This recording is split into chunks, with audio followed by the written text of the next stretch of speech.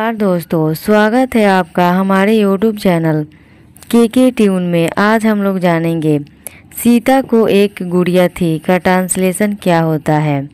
Video को शुरुआत करें उससे पहले चैनल को सब्सक्राइब कर ले। वेल आइकन को दबाना ना भूलें। चलिए वीडियो को शुरुआत करते हैं और जानते हैं, सीता को एक गुड़िया थी। इसका सही जवाब होगा, Sita had a doll.